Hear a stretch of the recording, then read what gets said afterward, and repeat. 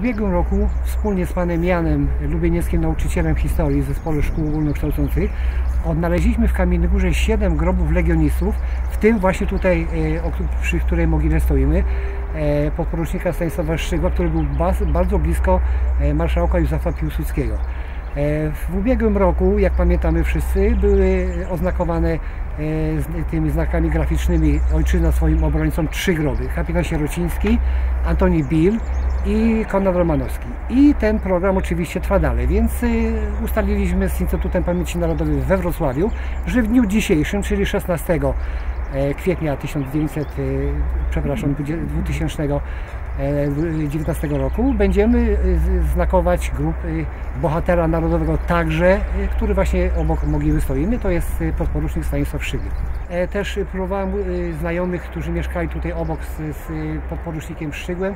Niestety nie udało mi się nikogo innego tutaj z rodziny. Oczywiście rodziny nie ma, ale z tych osób, które miały, mogły przyjść, niestety no nie przyszły, więc postaramy się to zrobić, tą całą uroczystość, bo to też i uroczystość piękna. Człowiek niezwykle zasłużony dla naszej ojczyzny. Mieszkał w Kamiennej Górze, e, nic o swoim chwalebnym życiorysie nic nie mówił nikomu, żył w samotności, można powiedzieć.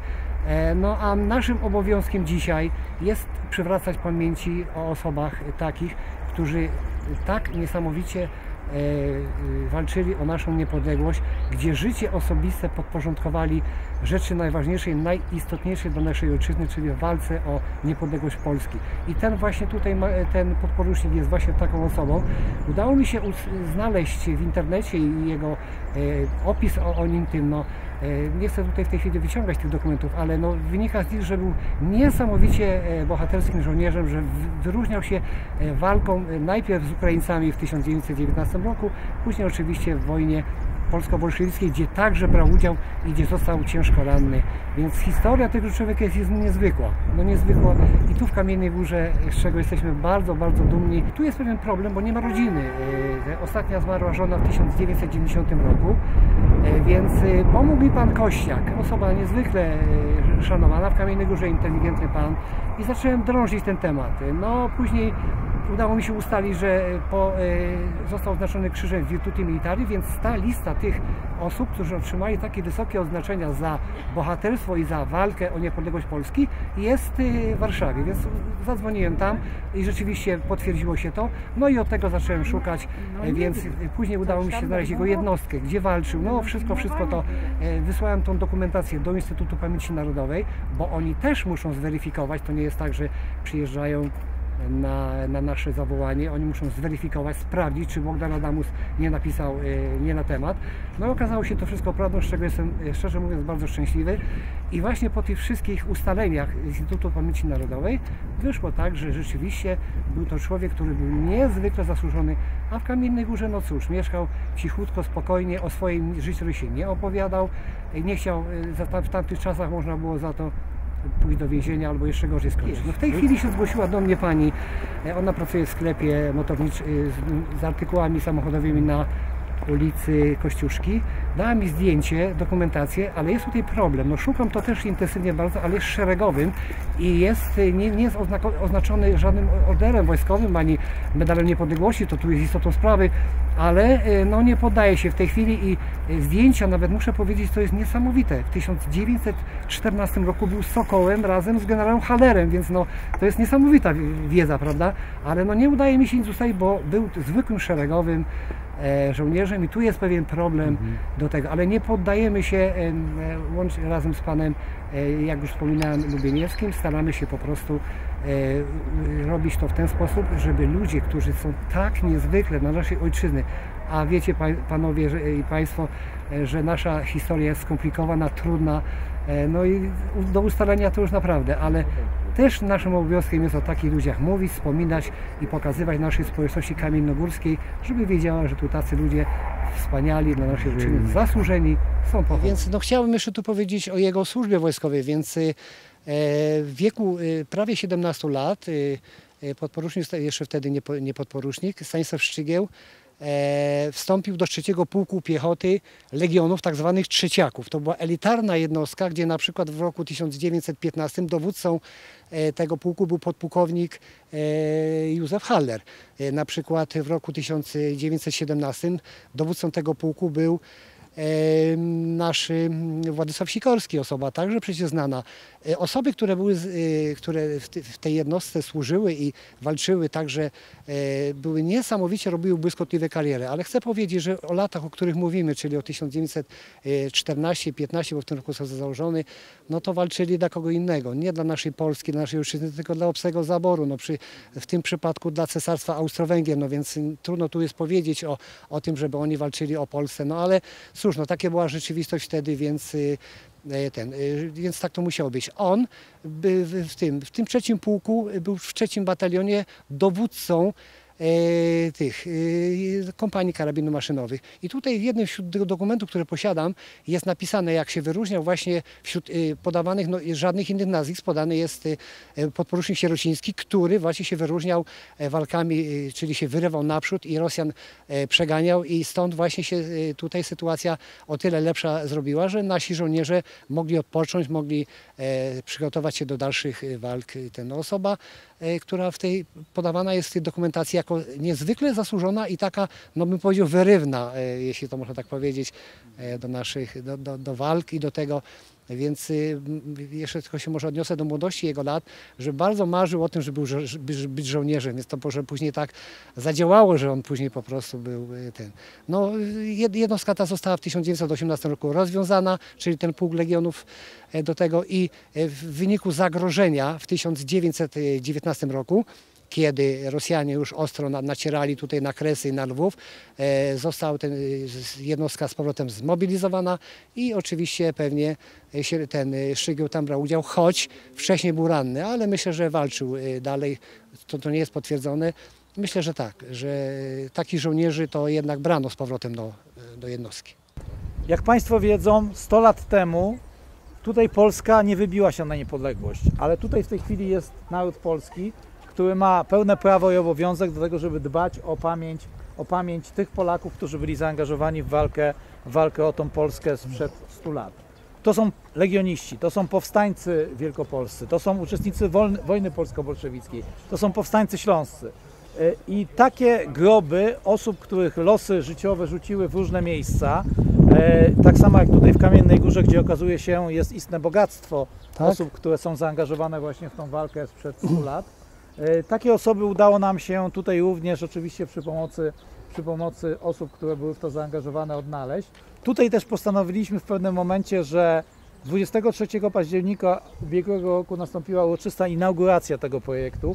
Bohaterem był e, kapitan Sierociński, bohaterem był Antoni Bill, bohaterem był żołnierz również e, Romanowski i okazało się, że jest więcej takich osób. Jedną z tych osób, którą dzisiaj właśnie tym honorowym insygnium staramy się oznaczyć, uhonorować, jest żołnierz Legionów Polskich Stanisław Szczygieł. To był żołnierz trzeciego pułku Pie- Piechoty e, Legionów. Piechoty Legionów. To była taka elitarna jednostka w trzecim batalionie. E, tak. Dowódcami tam byli Haller, był, był Sikorski, Sikorski, prawda? tak, jeszcze minister obrony Bogdan może mnie narodowej. poprawić w każdym momencie. A więc to jest taki legionista pełną gębą. Legionista, który przeszedł e, szlak legionowy, był w to zaangażowany, znajduje się w źródłach, jego nazwisko e, w stopniu podporucznika, tam się pojawia Stanisław Szczygieł i to jest kolejna osoba, kolejna Mhm. postać, kolejny życiorys, którym Kamienna Góra może się pochwalić. Tak, zdecydowanie. Także y, w ramach projektu Ocalamy staramy się, staramy się właśnie takie, takie osoby, ich y, życie, ich postacie, chociażby podkreślić tym właśnie honorowym znakiem ojczyzna swemu obrońcy. Stanisław Szczygieł znalazł się na tej krótkiej, ale i tak długiej, jak nam się wydawało, że ona będzie znacznie krótsza, liście osób, które zostały już oznaczone i będą oznaczone w tych latach, w których honorujemy stulecie odzyskania niepodległości, a więc zarówno w roku poprzednim, obecnym i w następnych latach, w roku 1920-2021, ta akcja będzie trwała bez względu na to, jak, jak e, powiedzmy ten czas będzie płynął, ze względu na to, że jak znajdziemy takie postacie, znajdziemy, udokumentujemy, udowodnimy to, że to była osoba e, godna, warta tego, żeby, żeby ją przynajmniej w ten sposób uhonorować i żeby stawała się pewnym przykładem, to takie takie akcje się odbywają. Oczywiście za tym idzie to, co postaramy się dzisiaj zrobić, czyli symboliczne nawet odnowienie chociażby napisu, który również, również tutaj zostanie zrobiony, tak żebyśmy podkreślili to, że, że te osoby, osoby są pod opieką. Często to jest opieka rodzin, ale często to jest tak jak w tym wypadku opieka takich osób jak pan Bogdan Adamus. Dziękuję Państwu za to, że, że Państwo temu towarzyszą. Na to ja jestem gotowy do tego, żeby, żeby udzielać jakichkolwiek odpowiedzi, informacji, a jednocześnie zachęcam do e, reagowania, do poszukiwania e, tych grobów, nie tylko legionistów, nie tylko osób zaangażowanych w tą walkę, ale w ogóle weteranów walk o wolność i niepodległość, ponieważ od 1 stycznia tego roku funkcjonuje ustawa, która e, nadaje państwu obowiązek opieki nad weteranami walk o wolność i niepodległość w zakresie czasu od Konfederacji Barskiej, czyli od 1768 roku aż do roku 1963. Wszystkie osoby zaangażowane w tą pracę, w tą historię Polski na przestrzeni tych lat, wszystkie groby tych osób, e, poprzez to, że chcemy najpierw, żeby znalazły się w ewidencji na wniosek czy to urzędu, czy to na, na wniosek e, prywatne e, rodzi, rodzin, czy też innych osób, żeby one po znalezieniu się w tej ewidencji później mogły w chwilach takich, kiedy istnieje zagrożenie likwidacji grobu, jego zniszczenia, braku opieki, mogło państwo poprzez Instytut Pamięci Narodowej się opiekować takimi grobami. Jest możliwa dotacja do do dofinansowania do takich grobów, a więc zachęcam do zgłaszania do Instytutu wszelkich przypadków, które należałoby e, podkreślić poprzez wpisanie do grobu weteranów. Wszystkie osoby w projekcie Ocalamy z urzędu już poprzez to nasze działanie znajdują się w takiej ewidencji i nie potrzeba tutaj żadnej dodatkowej biurokracji. My to robimy sami, dlatego że też w jakimś momencie te osoby stały się bohaterami projektu Ocalamy pomódl się za zmarłego świętej pamięci Stanisława Szygieł, ale i też, myślę, za jego żonę. Tak, tak, oczywiście. Zdrowaś Maryjo, łaski pełna Pan z Tobą, błogosławionaś Ty między niewiastami i błogosławiony owoc żywota Twojego jest.